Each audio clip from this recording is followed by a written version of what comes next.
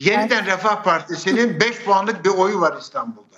Peki. Bu 5 puanın ne kadarını kendi adayına taşıyabilirse seçimi o kadar etkileyecek. Bu bize şunu gösteriyor.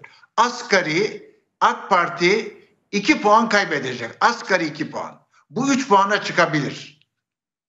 Bir diğer faktör Kılıçdaroğlu ve ekibiyle birlikte hareket eden ve şu andaki yönetime ve İmamoğlu'na karşı kırgınlığı olan bir kısım CHP'li seçmenin nasıl davranacağı konusunda tereddütler var. Bir kısım küskün CHP seçmeni oy vermeyebilir, sandığa gitmeyebilir.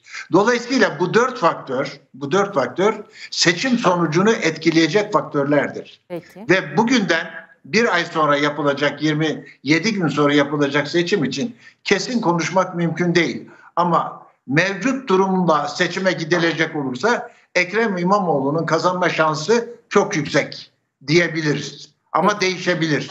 Peki. İkinci bir burada söylenmesi gereken bir şey daha var. Ankara seçimi.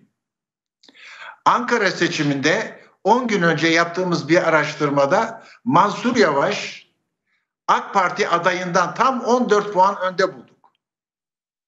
Eğer Mansur Yavaş'tan 10 puan birileri alamazsa yani başka parti adayları ve AK Parti adaya, adayı Mansur Yavaş'tan oy çekemezse Ankara seçiminin ben Mansur Yavaş'ta kalacağı konusunda e, çok eminim. İzmir seçimi için söyleyecek fazla bir şey yok. İzmir seçiminde zaten CHP'nin adayı yeterince güçlü ve İzmir seçmeninin de e, AK Parti adayına dışarıdan getirilen ithal bir adaya oy vermesi ihtimalini ben çok zayıf görüyorum. Bu şartlar değişmezse üç büyük şehir hala CHP seçmeninde, CHP e, adaylarında kalacak gibi görünüyor. Peki ben o zaman demin sormak istediğimi şimdi soracağım. Buyurun. Yeniden refahın sadece İstanbul'la ilgili değil Anadolu'da da e, önemli büyük şehirlerle ilgili e, geçmişte AK Parti ile e, ciddi teşviki mesaisi orada görevleri olan isimleri aday göstermesi söz konusu. Sizce yeniden refahın e, bu isimlerle e, seçime girmesi Türkiye genelinde AK Parti'nin oylarını nasıl etkiler? Türkiye genelinde en az AK Parti'den iki buçuk puan civarında e, çekeceğini düşünüyorum. Türkiye'nin her tarafında yeniden Refah Partisi seçime giriyor. Büyük şehirlerin hiçbirisinde kazanma şansı yok. Ama AK Parti'den oy alacak. CHP adaylarından alabileceği hiçbir oy yok yeniden Refah Partisi'nin. Dolayısıyla Refah Partisi seçim meydanına ne kadar güçlü çıkarsa AK Parti'nin o kadar büyük oranda oy kaybedeceğini söyleyebiliriz. Yani evet. yeniden Refah Partisi AK Parti aleyhine çalışan, AK Parti'nin oy kaybını arttıran bir faktördür. CHP'ye dolaylı bir şekilde katkı veren bir parti konumundadır. Çekilmeleri söz konusu olur mu sizce? Bu tartışıldığı için size de sormak isterim.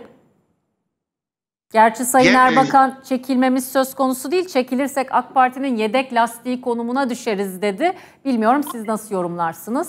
Doğru söylüyor, doğru söylüyor ama siyasette 24 saat çok uzun bir zamandır. Doğru. Daha önce Erbakan 700 bin oy, 70 bin oy topladıktan sonra çekildi ve Erdoğan'ın adaylığını destekledi. Bana sorarsanız ben kişisel olarak bu konuda e, Erbakan'ın veya partili arkadaşlarının kesinlikle seçime gireceklerini söyleyecek durumda değilim. Anladım. Her an bir şeyler olabilir.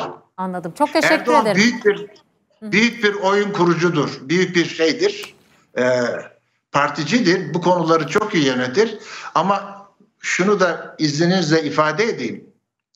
Yeniden Refah Partisi'ni kendisinden uzaklaştırarak Erdoğan bu seçim döneminde yaptığı ikinci büyük hatayı yaptı. Birinci büyük hatası seçtiği aday, ikinci büyük hatası da yeniden Refah Partisi'ne vermesi gerekenleri verip sahneden çıkarması gerekiyordu. Muhtemelen seçimden sonra bunun hesabını Erdoğan pişmanlıkla ödeyecektir. Peki çok